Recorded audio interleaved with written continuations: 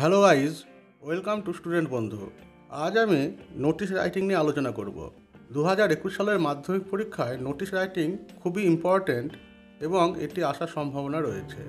Notice কীভাবে লিখতে হয়, তার ফরম্যাট কীরকম, সেটা নিয়ে আমি আজ বিস্তারিত আলোচনা করব। So guys let's get started notice রাইটিংয়ের প্রথমেই তোমরা খাতায় এই মধ্যেখানে নোটিশ শব্দটি লিখবে। তারপরে তার নিচে যে বিষয়ে নোটিশ লিখতে বলবে সেই সাবজেক্টটা লিখতে হবে। যদিও সাবজেক্ট লেখাটা কম্পালসারি নয়। বাম দিকের কোণে এখানে নোটিশ নাম্বার দিতে হবে। আমি এখানে ইলেভেন দিয়েছি। ডান দিকের এই কোণে নোটিশের ডেট বা তারিখ দিতে হবে। তারপর মূল যে নোটিশ, সেটি লিখতে হবে। প্রশ্নে যে পয়েন্টগুলো দেওয়া থাকবে, নোটিশের মধ্যে কিন্তু সেই পয়েন্টগুলো উল্লেখ করতে হবে। ডান দিকের কোণে নিচে সিগনেচার করতে হবে এবং প্রশ্নে তোমার যে পদ দেওয়া থাকবে, সেই ডেজিগনেশন বা পদটা উল্লেখ করতে হবে। আমি যেমন এখানে স্টুডেন্ট সেক্রেটারি ম্যাগাজিন কমিটি এই পদটি উল্লেখ করেছি। তার নিচে স্কুলের নাম লিখতে হবে। নিচে বাম দিকের কোণে কাউন্টার সাইন্ড বাই তারপর সই করার জায়গা রাখতে হবে এবং নিচে হেডমাস্টার বা হেডমিস্ট্রেস হলে হেডমিস্ট্রেস লিখতে হবে।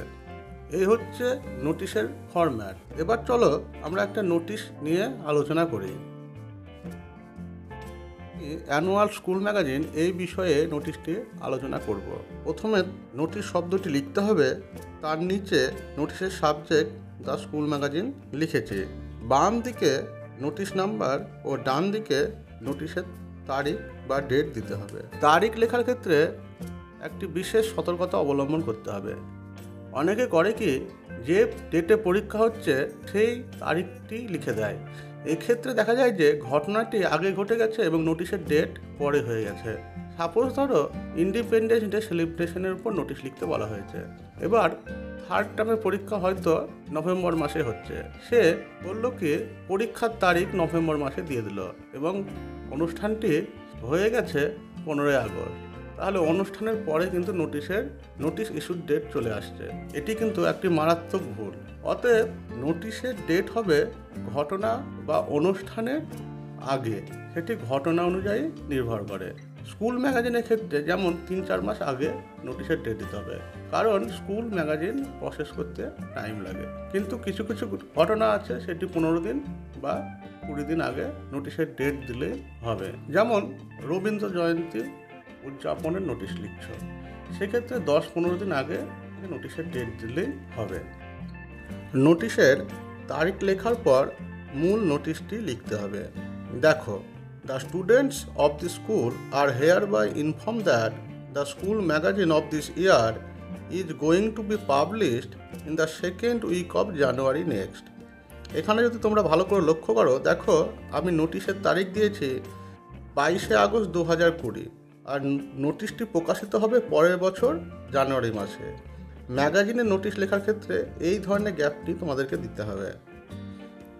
এখানে প্রথম লাইনে, স্কুল ম্যাগাজিন কবে প্রকাশিত হবে সেই সম্বন্ধে ছাত্রছাত্রীদেরকে ইনফর্ম করা হয়েছে। তোমরা প্রথম লাইনটি অন্যভাবে লিখতে পারো। It is hereby inform that এইরকমভাবেও শুরু করতে পারো। পরের লাইন দেখো The interested students are requested to submit their creative articles, his poems, short stories, essays, etc. to their respective class teachers on or before 30th September 2020. এখানে আগ্রহী ছাত্রছাত্রীদেরকে অনুরোধ করা হয়েছে তাদের ক্রিয়েটিভ আর্টিকেলস সৃজনশীল লেখাগুলো যেমন কবিতা ছোট গল্প প্রবন্ধ এইগুলো তাদের শ্রেণি শিক্ষকের কাছে জমা দিতে। তিরিশে সেপ্টেম্বর টু থাউজেন্ড টোয়েন্টির মধ্যে। They should note, the manuscript must be written legibly on one side of the foolscap paper and the writing must not exceed five hundred words. এখানে বলা হয়েছে, ম্যানুস্ক্রিপ্ট ম্যানুস্ক্রিপ্ট কথা অর্থ হচ্ছে পাণ্ডুলিপি। অর্থাৎ যে কাগজটিতে মূল লেখাটা লেখা থাকে, তাকে বলা হয় ম্যানুস্ক্রিপ্ট অরিজিনাল কাগজটি। ছাত্র ছাত্রীদেরকে বলা হয়েছে, তারা যেন ম্যানুস্ক্রিপ্ট বা পাণ্ডুলিপিটি লেজিবলি মানে পরিষ্কারভাবে লেখে একটি ফুলস্কাপ পেপারে একদিকে বোথ সাইডে নয়, এবং লেখা যেন পাঁচশো শব্দ অতিক্রম না করে। No articles should be copied from any printed matters কোনো ছাপানো লেখা থেকে যেন কপি না করে। Students may contact the undersigned for further details if required undersign মানে নিম্ন স্বাক্ষরিত ব্যক্তি। ছাত্রছাত্রীরা নিম্ন স্বাক্ষরিত ব্যক্তির সঙ্গে প্রয়োজনে আরও তথ্যের জন্য যোগাযোগ করতে পারে।